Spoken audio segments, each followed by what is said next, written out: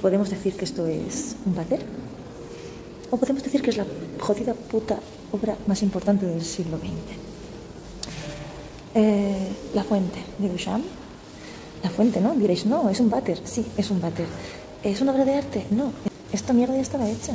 Este tío compró un váter de porcelana, lo llamó La Fuente, lo firmó con el seudónimo R. Mood y le puso la fecha y lo mandó a la Sociedad de Artistas Independientes.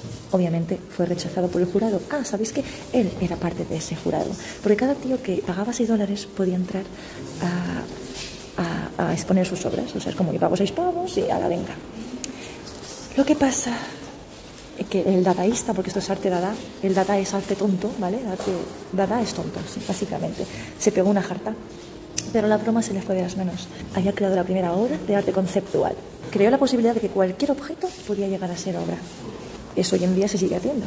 Eh, hay quien piensa que la fuente es la situación política del 1917, que es un bater lleno de mierda. Es una versión de la Biblia Dorada de Danae, con la pipí del, del, dios.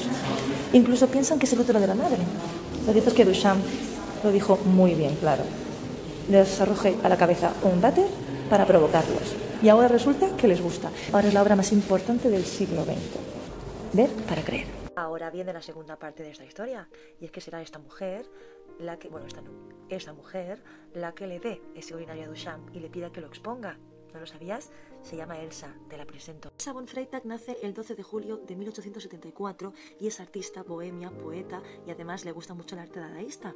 Es alemana, aunque se pasa la mayor parte de su vida eh, mm, estudiando y trabajando en Nueva York. En 1982, unas cartas de Marcel Duchamp a su hermana delatan que en efecto sería ella la que le entregara el urinario eh, y que ella hubiera muerto en 1927 sola no le da el derecho a nadie a que la versión de la historia no se cambie cuando hay pruebas fehacientes que dicen esto. Hoy en día en los museos sigue siendo el urinario o la fontana de Duchamp. Esta mujer tuvo una infancia terrible con un padre que la subyugaba y la oprimía muchísimo, tuvo que huir de su casa e irse a Berlín, donde frecuentó burdeles bohemios para trabajar como modelo, como estatua para hacer pintura y para hacer escultura pero contrajo en esos lugares la sífilis. De hecho, ella sería la creadora del ready-made y el poder mezclar elementos artísticos que son hechos con materiales como tuberías o hierros.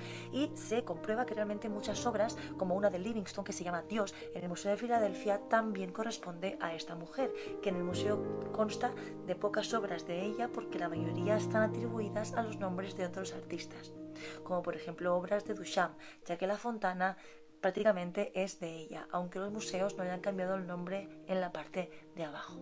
También Elsa Bonfreita fue una de las pioneras en hacer performance desnuda en la calle. Se presentaba ante los lugares con medios, como casas de prensa, rapada con la cabeza roja y cuando se quitaba la capa estaba totalmente desnuda. Fue arrestada muchísimas veces. Sin reconocimiento, pobre y enferma, cada vez más loca por la sífilis, acaba llegando de nuevo a Berlín después de una devastada Primera Guerra Mundial y acaba viviendo pues por los amigos, porque le ayudan económicamente, pero acaba muriendo sola, sin reconocimiento, sin un centavo y muy enferma. De hecho, cuando fue a morir, antes de morir, le dijo a los amigos que ahorraran todos los centavos posibles y no quería entierro a no ser que pudiera ser embalsamada con una bella concha de reina y demás. Básicamente lo que pedía era medicinas para poder sobrevivir y acabó muriendo y siendo enterrada en una de las partes más económicas del cementerio. Cuando dicen que no hay mujeres artistas me río, me río muchísimo porque en realidad han sido invisibilizadas, castigadas y no reconocidas. Además, siempre muriendo solas, pobres, enfermas y olvidadas. Y hoy la recordamos. Hoy recordamos a la baronesa Elsa Bonfreita y su aportación al arte dadaísta, a la poesía, a la escultura, a la performance, que luego miles de mujeres harían más tarde en el siglo XIX y XX,